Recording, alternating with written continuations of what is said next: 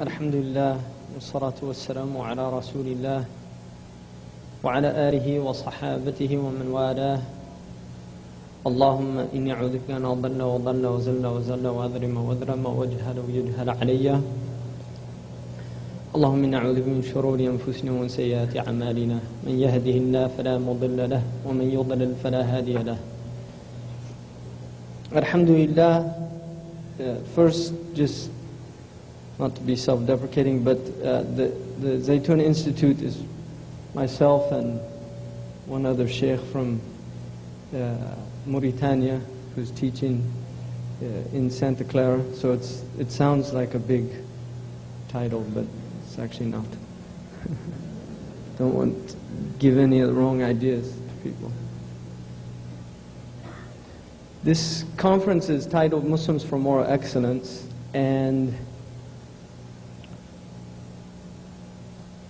it's interesting to note that the Muslims, although we have the greatest teacher of moral excellence as our guide and our Prophet ﷺ, the one which Allah subhanahu wa ta'ala himself, the Lord of all the worlds, has said, and which he said about no other human being in his book, وَإِنَّكَ لَعَلَى خُلِقٍ عَظِيمٍ Surely you are on a great ethic, a great self-form, a great character.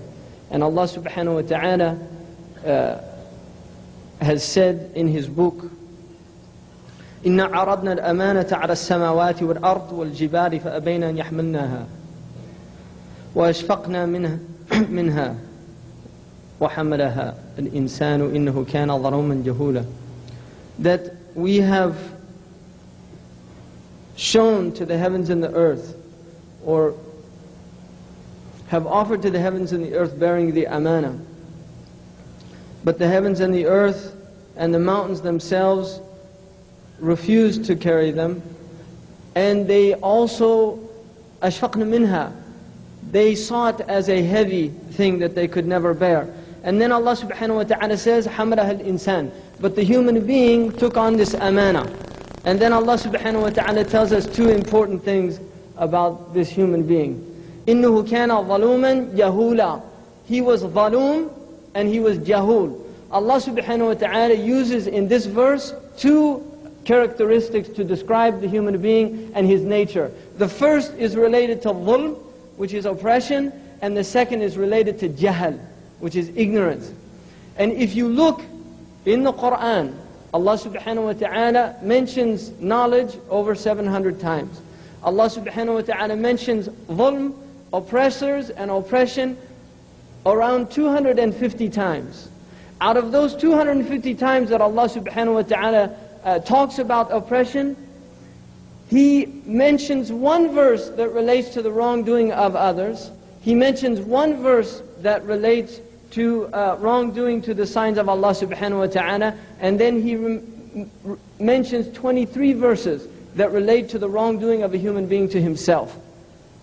So out of the 250 verses relating to oppression, Allah subhanahu wa ta'ala describes 25 times the object of that oppression, and in 23 of them, it is the human being to his own self.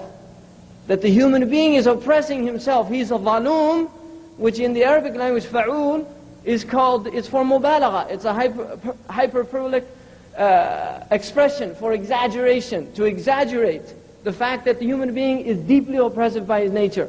He is deeply oppressive by his nature. And he's jahul, he's deeply ignorant. And thus, in order for the human being to bear this amana, as Allah subhanahu wa ta'ala has required him to do, then he must remove oppression from his nature, and he must remove ignorance from his nature. And without the removal of these two characteristics, he cannot bear this amana. And amana is related to iman. لا إيمان لمن لا أمانة له. He has no iman, the one who has no amana. Now in a society, if you have oppression, the thing that is missing is aman. Aman is security. There's no sense of security. And it's interesting that in our countries, uh, we call the police security forces. And in reality, in the vast majority of countries of the world, they are securities, in other words, they are securing the countries by force for the uh, benefit of a few oppressors. This is what they're doing. The vast majority of the world is literally security forces are securing and exploiting the wealth of the country for a small handful of people that are placed over the people who are oppressors, who are zalimun. And one of the people who will never smell the scent of Jannah is the one who is an imam over a people and he oppresses them. So you have in the Muslim world a state in which people are in a state of dhulm. They feel dhulm. And they ask constantly, where is this oppression coming from? They speak endlessly about the sources of that oppression. And ultimately, it is related to the human being himself and herself that we ourselves are oppressing ourselves and that our primary enemy is the psyche itself, the nafs. The greatest enemy that you have is between your own two sides.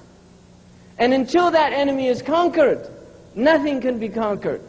Now earlier, uh, Dr. Kamal was mentioning about moving to another level. You see, about that there's individual piety amongst the Muslims. But how do we move to another level? But the individual piety is often deeply misplaced.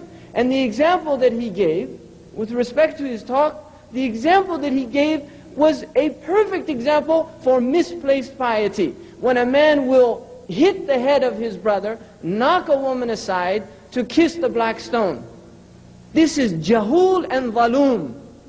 Not only is he ignorant, but he's oppressing his brother in his ignorance. Because we don't harm a Muslim to draw near to Allah subhanahu wa ta'ala. It's mandub to kiss the hajar. None of the ulama say that it's a wajib, it's a fard during the hajj. It's mandub because the Prophet ﷺ did it. And even some of the sahaba left it because they didn't want to harm other people. And yet it is haram to harm or oppress another Muslim. So the deeply embedded sickness within the Muslim ummah is dhulm and jahl. And this is the reason why we no longer have siyada of this uh, world, nor do we have uh, dignity within ourselves. We fear other people. We fear other nations. You see? We fear them. Imam Shafi'i radiallahu anhu said, a man of deep dignity within himself. وَلَسْتُ بِهَيَّابًا مَنْ لَا يَهَابُنِي ولا ولست أرى للمرء ما لا يرى لي I don't show dignity. I don't have awe or fear of someone who has no awe and respect of me. And I don't see in any individual things that he doesn't see in me. And this is somebody who has izzah, who has dignity within himself. And then he said, إن تدنو مني تدنو منك مودتي if you draw near to me, then my love draws near to you. وَإِن تَنَّ عَنِّي تَلْقَانِ عَنْكَ نَائِيًا But if you move away from me, then I move away from you. كِلَانَا غَنِيٌّ عَنْ أَخِيهِ حَيَاتُهُ Both of us have no need of the other as long as we're alive. وَنَحْنُ إِذَا مِتْنَا أَشَدُّ تَغَانِيًا And when we die, what greater independence do we have from each other? Now, if you move from the individual level to the societal level in these statements, because I think they're important and not insignificant meanings, we have fear and awe of the so-called superpowers, of the so-called uh, developed countries, to use the term of some uh, people who have no understanding of the age they live in, developed countries. We, we have awe and fear of them in the Muslim world. And yet they have no respect for us. They have no respect whatsoever for us. We show them our love by imitating them because imitation is a sign of love and thus we become quote unquote a developing nation. You see, we want to catch up. We want to catch up. Catch up with who? What's the race?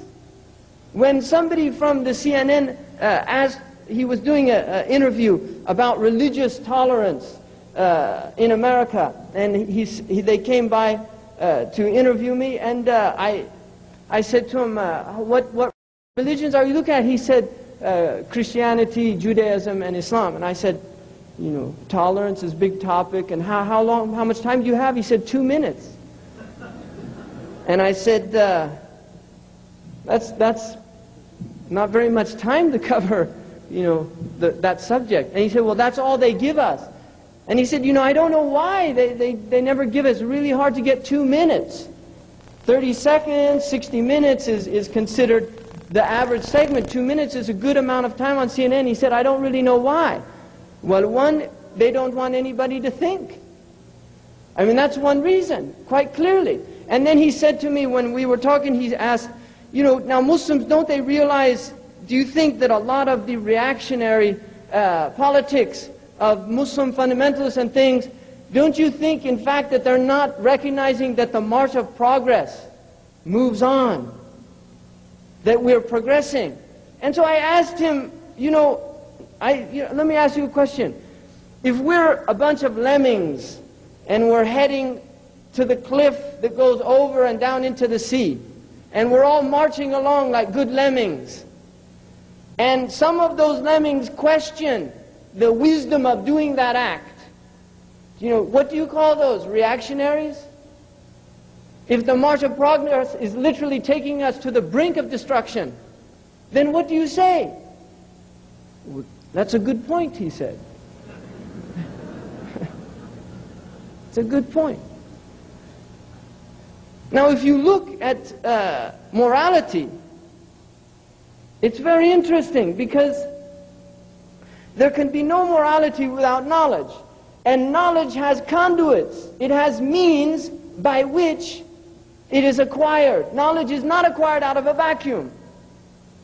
The Prophet ﷺ, Allah says about him in the Quran, عَلَّمُهُ شَدِيدَ الْقُوَى He was taught by the one vast in power. The Prophet ﷺ himself had a teacher. The Prophet ﷺ had a book that was transmitted to him orally by his teacher. And he, ﷺ, was better in reality than his teacher Jibreel ﷺ. But Allah established a sunnah that knowledge is acquired through means. Even the best of creation learned through means. Now, if you look in the world now, the means by which knowledge is acquired, which hopefully the point of knowledge is not simply to have an educated person at the end, but to have somebody who is literally substantive in what he is contributing to the society, that he is not a detriment to the society. المسلم من سلم المسلمون من لسانه ويده The Muslim is the one who Muslims are safe from his tongue and his hand, from the harm of his tongue and from the harm of his hand, the two ways that a human being can harm, physically and, and, and verbally.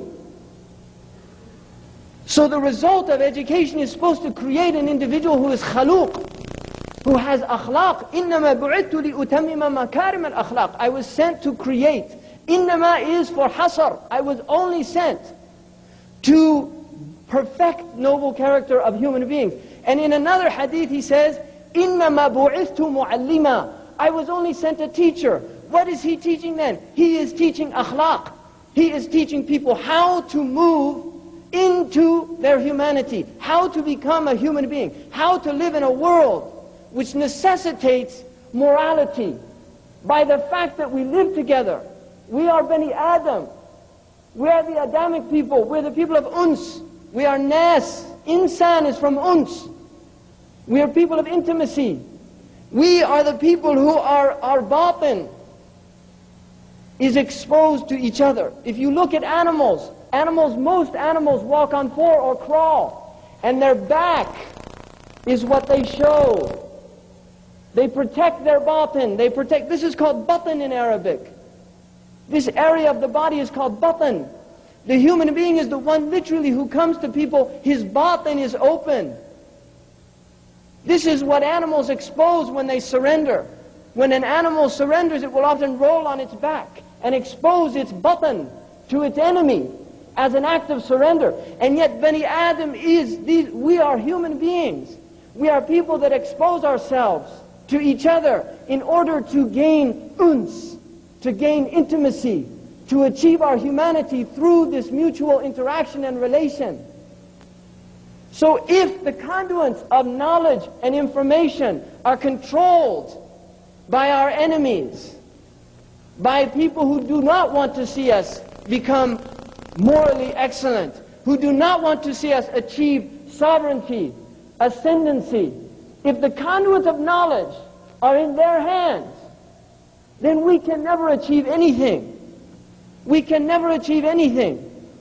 And this is exactly what's happened. And if you look at the Americans, this is a very interesting article in Foreign Policy, which is an important magazine put out by an organization called the Council on Foreign Relations, which is really the intellectual, uh, it's the intellectual center of the American uh, nervous system. Really, it's the brains behind policies. They create policy papers. Samuel Huntington, in fact, the first, uh, the Cold War paper by Mr. X was first published in Foreign Policy. Now, it's interesting that Foreign Policy, that it's put out by Council on Foreign Relations, and they always use the acronym CFR. The C is for council, so it has a K sound. The, the, the F is for foreign, so it has a F sound. And the uh, relations is for relations, ra, and it has a ra sound. And that gives you ka, fa, ra. Right? It's a very, I think it's not insignificant, right? Ka, fa. Right? I mean, it's interesting that the, Jah has kafara written on his forehead. And the Prophet ﷺ, and I guarantee you, no Arab, historically the Arabs never used acronyms. Never. If you study Arabic literature, they never used an acronym. They didn't use initials. Arabs didn't even have a period where you could put an initial. It didn't mean anything to them. I mean, and this is a society that's based on, you, you have to go to school to learn initials. That's what you end up doing. You go to school and you learn jargon. If you, if you go to medical school, you learn things like CPR, right? you go into uh, uh, these uh, there's so many engineering jargon, it's unbelievable, and they use all these initials, right? So the American ABC, CBS, NBC, it's very interesting. It's a land of, of initials, right? Kafara. it's initials. But this is a very interesting article by David Rothkopf in praise of cultural uh, imperialism. Now, this is a rebuttal because what they do is they get their intellectuals to talk to each other. And then ultimately they derive their policies out of these papers. This was written by a man who's really looking at the Samuel Huntington argument about the clash of civilizations, and he's trying to say, really, we have to be careful of, of you know, setting up this uh, civilizational crises based on conflict. Because what he's saying is we actually have within our power the means to completely avoid conflict by Americanizing the world. This is what he says.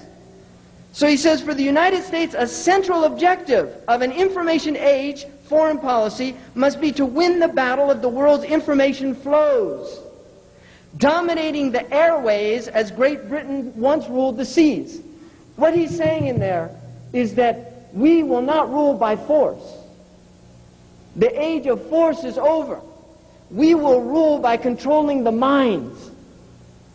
We will rule through information. We will rule by educating the world falsely through our ersatz culture, our pseudo culture, the culture of margarine. Right? Not real butter, margarine. You see? It tastes just like butter. That's what they say it doesn't. You can't get any margarine that tastes like butter. But that's what they say on there. You Yudajjilu. Right? This is what Dajjal means in Arabic, to trick people. Right? So here's what he says in here. It's, it's very interesting. Talking about exporting American ideas. American share of the world market for pre-recorded music, 60%. Music is a very powerful way of controlling the minds of the masses. Music. You see, spread Michael Jackson all over the world. Spread Madonna all over the world. Not only you, you kill two birds with one stone. You destroy the intellects of people. First of all, listening to that, uh, you know, de-evolved, it's, it's, uh, get people dancing like monkeys, right? I mean, according to them, we came from monkeys and now we're human beings, right? So why are we, why do we go back to that when we listen to those things, right? So this is what they do, is get people listening to monkey music, right? It's what it is. It's monkey music.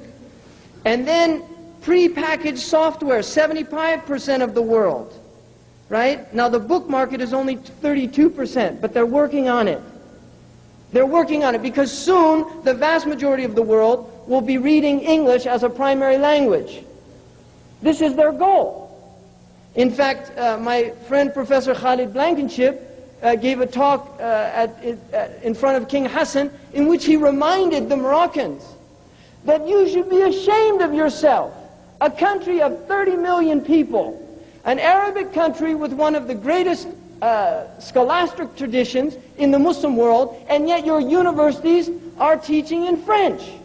And we have Iceland, Iceland, a country of 250,000 people, in which their universities only teach in Icelandic. In other words, they take all of the information from other cultures because we don't know of any Icelandic, uh, right? What, I mean, what's Iceland doing up there, right? No offense to any Icelandic people, but you know, they're not producing great amounts of uh, literature and science and things like this. They're taking other literature and they're putting it into their language because they have izzah. They're proud of their language.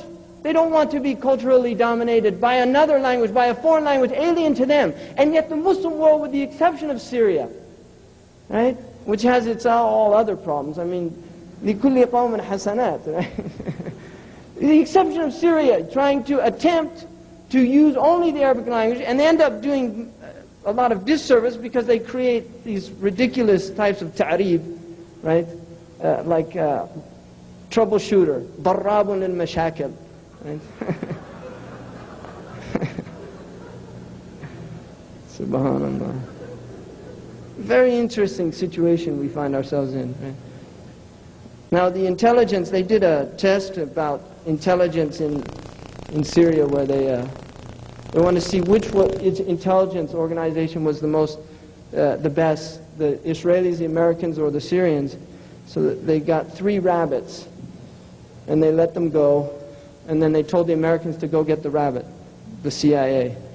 So they came back with the rabbit, and they were reading it its rights. And then the, the Israelis came back with the rabbit, it was dead. They'd beaten it to death. And the Syrian secret police came back with a donkey. And they said, that's not a rabbit. And they said, no, no, it is. We got a confession. So we have a, a country now uh, that's literally dominating the world's intellectual conduits. We have to realize that the media in America, which is, has massive power now, and I'll just give you one example. If you want to destroy a people's uh, akhlaq, all you have to do is introduce television into their culture. Uh, that's all you have to do. You don't need to do anything else. There was a, a rabbi in London interviewed who was leading a Hasidic community in London, and the BBC man asked him, why don't you have television in your community? Because they don't allow it. He said, because who wants an open sewer in their living room? Right? I mean, this is a Hasidic Jew, an Orthodox Jew, that can work that out. And yet Muslims, literally, we haven't come to this uh, conclusion yet. And people say, well, brother, there's benefit in it. Well, Allah says there's benefit in wine. Right? Really, if you look at the percentage of benefits in television and look at the massive harm that it's doing in the world. Now, there's a tradition of Sayyidina Ali that says, لَتَرْفَعَنَّ رَايَةَ الْفَسَادِ فَوْقَ كُلِّ بَيْتٍ Towards the end of time, the banner of corruption will fly over every house. Right? You look at the satellite dish in the last few years all over the Muslim world, seeing literally Bedouin in the Saharan desert with a satellite dish outside of their tent. It's not funny at all. It's very devastating. I, I, there's no humor in that whatsoever for me. Because it's affecting their children, it's affecting how they see the world, the Moroccans, you, in the poorest parts of town, satellite dish on every single house. Go to Syria, satellite dish everywhere. Egypt, all over the Muslim world. In Arabia, the Arabian Peninsula, the land of our Prophet and the Sahaba radiallahu anhu, land that was purified with the blood of martyrs. And you see over all of these houses, they call it dish, right? Dishat, right? And this, what is it doing to these cultures? It's destroying them. The uh, Jerry Mander, a, uh, somebody who wrote a book called In the Absence of the Sacred, documents that within five years, satellite television destroyed the Inuit culture of northern Canada. Five years. Destroyed their culture completely. A culture, an oral tradition, rever uh, the reverence of older people, of elders, tribal uh, gatherings, all of these things destroyed in five years. You see now in Arab countries women wearing spandex, right? Seriously, you, I mean, it's grotesque. You don't even see that in a lot of uh, American cities still. And in Muslim Arab countries, and you wonder, where's the ghairah? Where is the, the jealousy of the Muslims? Where's the jealousy of the, the Muslim male for their own sisters? Dressed naked like the emperor's clothes in a deep sleep, not even aware of how asleep they are. Look at our youth in this, uh, in this just in, in amongst us. Look at them with their heads shaved, wearing uh, these ridiculous pants down to their ankles, right? Imitating the dregs of this culture. What's, what's happening? We have to ask ourselves, really, we talk about moral excellence, but look at what's happening to our cultures. Look at what's happening to our people. And this is, this is planned. This is exactly what these people want to happen. It is in the general interest of the United States to encourage the development of a world in which the fault lines separating nations are bridged by shared interests. And it is in the economic and political interest of the United States to ensure that if the world is moving toward a common language, it be English that if the world is moving towards common telecommunication safety and quality standards, they be American. That if the world is becoming linked by television, radio, and music, the programming be American. And that if common values are being developed, they be values with which Americans are comfortable. This is not a crazy man writing here. This, this, is what, this is what the leaders of this country read. These are the papers they read. Right? This is policy. And this is what they're doing spreading corruption in the land. Now, interestingly enough, that he mentions here exporting the American model, the United States should not hesitate to promote its values in an effort to be polite or politique. Americans should not deny the fact that of all the nations in the history of the world, theirs is the most just, the most tolerant, the most willing to constantly reassess and improve itself, and the best model for the future. At the same time, we should not fall under the spell of those like Malaysia's Mahathir bin Mohamad. And it's interesting, what's he doing in there? Malaysia, right? Dr. Kamal.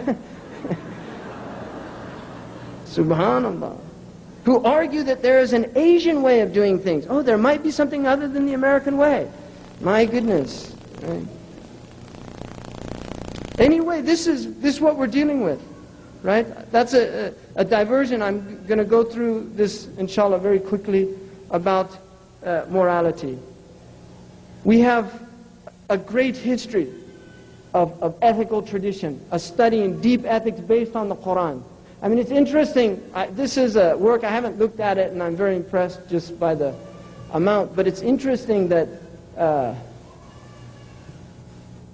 the Quran, in 114 surahs, has given the world literally the greatest uh, encyclopedia of akhlaq. And not only did it give us the greatest encyclopedia of akhlaq, but it gave us the greatest model and embodiment of that akhlaq. And Aisha radiallahu anha, jazahallah khairan, khair al-jaza, ma.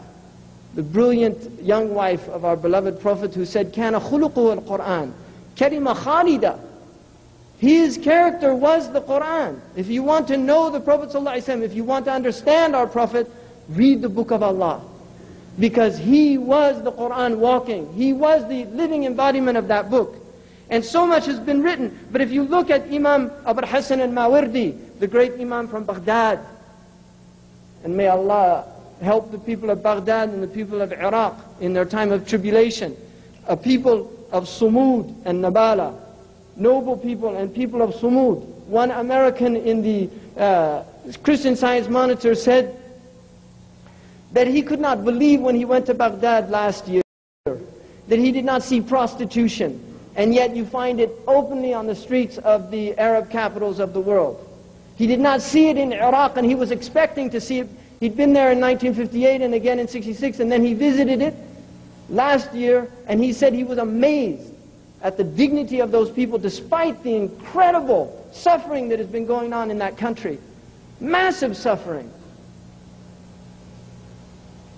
That that great Imam, Abu Hassan al-Mawardi, wrote a book called Adab al-Dunya wad-Deen.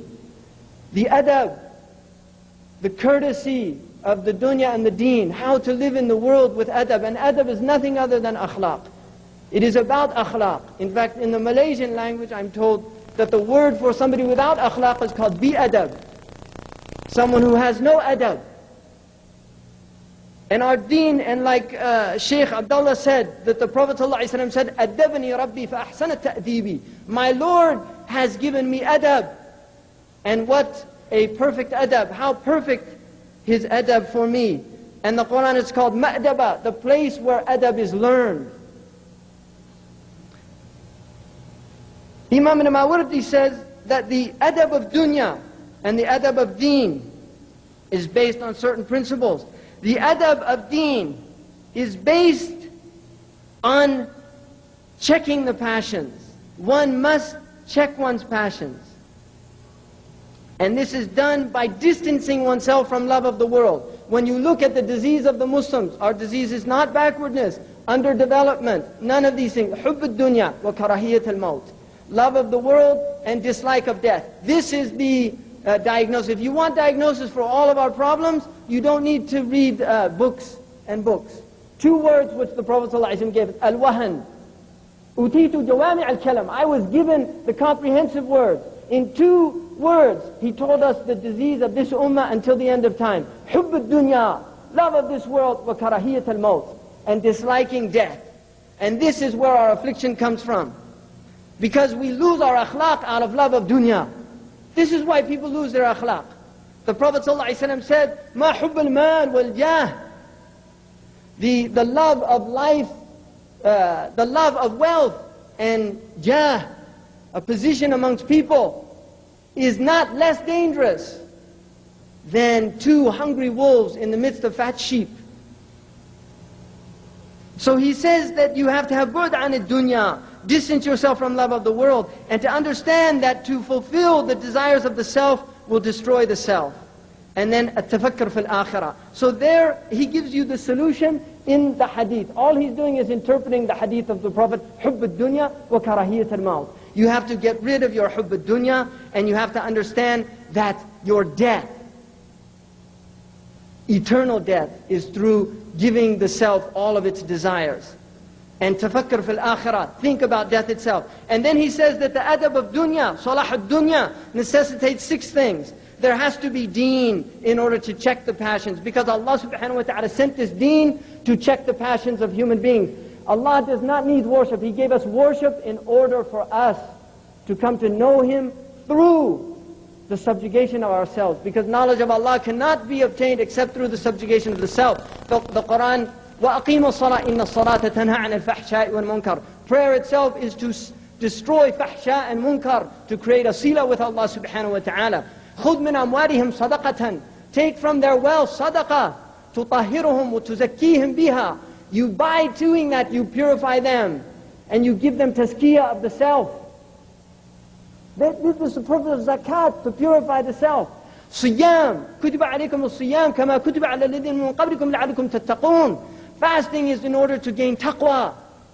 حج البيت فمن فرض فيهن الحج فلا رفث ولا فسوق ولا جدال في الحج Whoever wants to go on Hajj and makes it obligatory by intending it and going on it, then let him not speak of low things. Let him learn to guard the tongue. Let him not do anything that is unbecoming of a Muslim. And let him not argue during the Hajj. It's teaching us how to live with people because Hajj is the greatest demonstration of all of the people of Bani Adam coming together. But their coming together can only be based on purification of the tongue, on purification of the limbs, and on leaving jidal, leaving argumentation, leaving argumentation. The Prophet ﷺ said, أَنَا ضَامِنٌ بَيْتٍ I guarantee a house in Jannah لمن ترك المراء Whoever leaves argumentation. The Prophet ﷺ said, ما ضل قوم بعد هدى كان عليه إلا أوتوا الجدل. No people ever go astray after they had guidance except they're given argumentation. One of the Imams said, إذا أراد الله خيرا فتح له أبواب العمل وإذا أراد له شرا فتح له أبواب الجدال that the one who Allah wants good, He opens up for him the doors of action, and the one who Allah wants evil for, then He opens up the doors of argumentation. Then the deen is to purify the self and to purify the society. And then the sultan, there has to be a sultan who enforces peace and justice. But yet we're told in the hadith, إن القرآن والسلطان سيفترقان فدوروا حيث دار القرآن that authority and the Quran are going to split ways.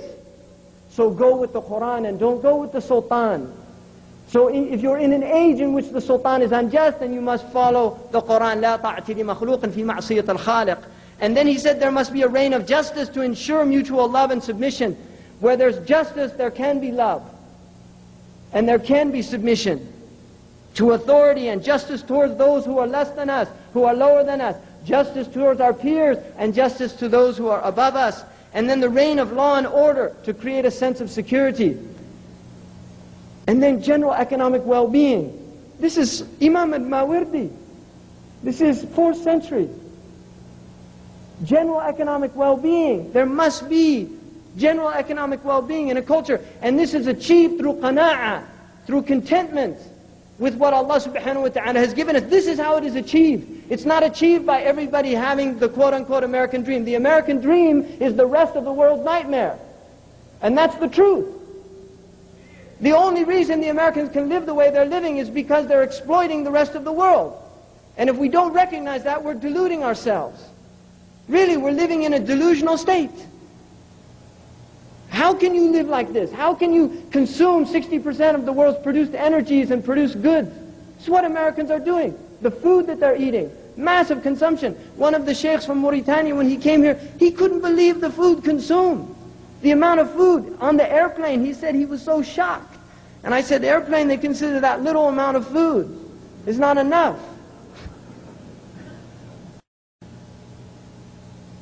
And then he said the last thing that Al-Mawardi anhu gave was there has to be vast hope.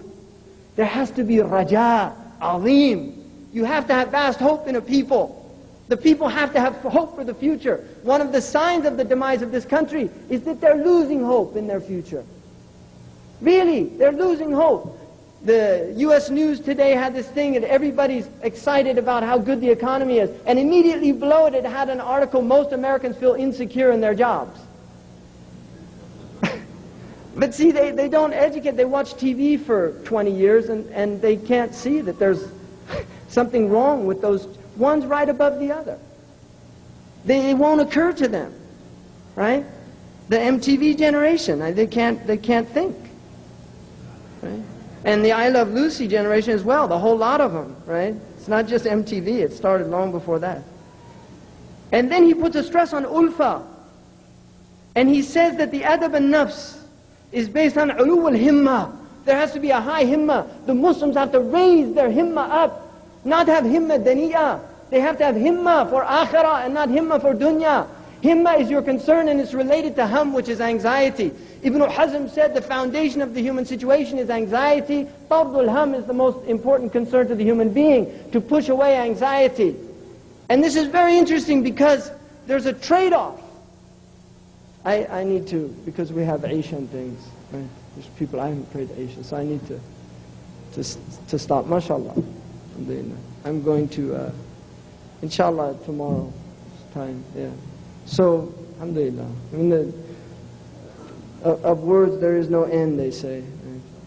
One of my sheikhs, he told me that the adhan went for the, the prayer in Medina, and somebody was telling a story, and he got up to leave, and some other people stayed, and we walked out, and he said, Al-qasas ma tantasif. Stories never reach a middle point. And I didn't understand it when I first heard I asked him what it meant. He said, he said uh, that one story leads to another. Right? Then you never get to a middle point. If you're on a journey, you know we're halfway there. But when people are telling stories, one story leads to another, and that's why we have things like prayer to remind us we're, we're almost, you know, we're almost there to our deaths. We're all, we're all going to die. Uh, this Mauritanian sheikh who came when we were in the airport, we were on this escalator, uh, moving along, and he, he'd never been on one before, and he was just looking at it, and uh, we're moving along, and we had the bags, and everybody's sitting there, and then he looked at me and he said, Subhanallah. He said, this is exactly like dunya. He said, you think you're standing still, but you're headed toward your death. Right? Basira. I mean, that's seeing things, taking ibra from things. All, all these, you know, people just thinking we're all standing still and we're all heading towards our death. And what a journey. So, inshallah, ask Allah subhanahu wa ta'ala to uh, give us tawfiq and give this ummah tawfiq and give uh, the Malaysians tawfiq, inshallah. Right? Because they're plotting against them. They're bothered. I mean, the fact they mention that in there, don't be deluded by, they're worried. They don't want a, a model of a Muslim country in particular. Right? They do not want a, a model which people can say, well, the Malaysians did it, which means, because see, Muslims are so negative now, right? Everybody just throws up their hands and say it can't work. But then if, if it actually begins to, you know, a society begins to actually achieve some things in this world, suddenly other, other societies are inspired by it. And they can say, subhanAllah, well, they can do it, we can do it. And what we say, if uh, the Salaf could do it, there are examples, and inshallah Allah give us tawfiq. Jazakum Allah khairan wa assalamu alaikum.